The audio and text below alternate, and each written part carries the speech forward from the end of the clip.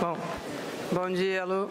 É, sobre a participação da iniciativa privada, a nossa lógica é o seguinte, é justamente mudar essa lógica.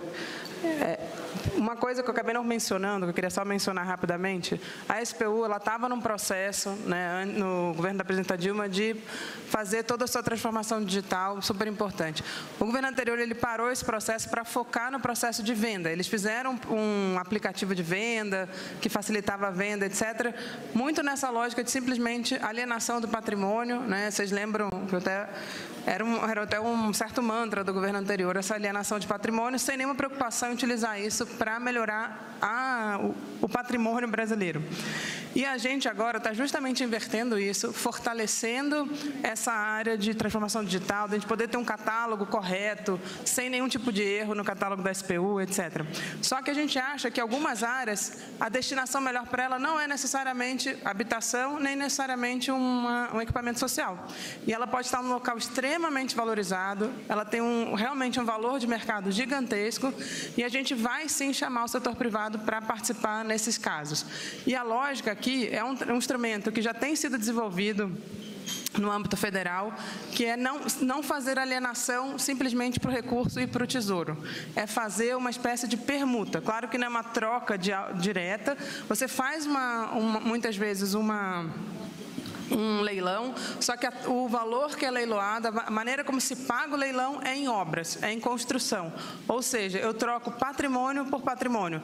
Um patrimônio que ele não tem uma utilização essencial para o melhor para o setor público, mas pode ser utilizado pelo setor privado, e o setor privado constrói algo que o setor público utilizará, que podem ser habitação, que pode ser também um equipamento social. Então, essa é a lógica de participação. Além disso, em grandes empreendimentos, como é o caso, por exemplo, até do aeroporto de Vitória da Conquista, conquista, a gente vai poder abrir para manifestação de interesse do setor privado, para o setor privado propor também projetos em grandes locais. Né? Então, alguns serão empreendimentos específicos que serão alienados nessa forma de troca de patrimônio por patrimônio e também vamos abrir por manifestação de interesse.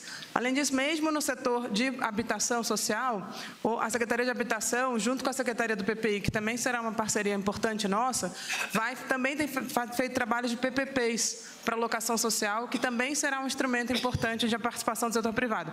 Então, a nossa lógica é justamente fazer uma parceria com o setor privado de valorização do patrimônio utilizando diversos tipos de instrumentos. E também terão casos, por exemplo, de portos, que podem ser portos privados, que podem utilizar patrimônio, podem ser em terreno da União. Então, a gente terá a participação do setor privado em diversas formas, mas talvez o mais, o mais inovador aqui é fortalecer essa, essa prática de trocar patrimônio por patrimônio e não simplesmente alienação, muitas vezes abaixo do valor de mercado, com perda de patrimônio da União. Tá? Mas é isso, passar para o ministro Rui. Bom dia a todos. Parabenizar a ministra Esther, saudar o presidente Lula e dizer que a lógica do programa é substituir aquele modelo antigo de somente fazer caixa e muitas vezes a alienação se dava a preços questionáveis porque por estar em situações às vezes degradadas, esses prédios eram vendidos a preço, ou esses imóveis a preços muito baixos. Então, é substituir essa lógica por uma lógica de garantir a função social do imóvel. Que esse imóvel tenha a capacidade de gerar emprego, tenha a capacidade de gerar moradia, de gerar e dar espaços para escolas, unidades de saúde, hospitais, equipamentos urbanos, e nas grandes áreas, eles vão com certeza impactar de forma né, no desenvolvimento urbano de cada cidade. Qual a relação disso com o PAC? Primeiro, é, dentro do PAC está a modalidade de regularização fundiária.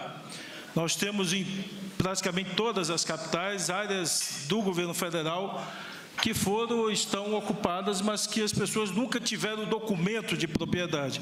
Então, com esse programa, nós queremos, em parceria com os municípios, os prefeitos e os governadores, e o sistema judicial também, os cartórios, fazer um grande mutirão de regularização fundiária desses imóveis, dando título de propriedade a essas pessoas que já moram há 20, 30 anos.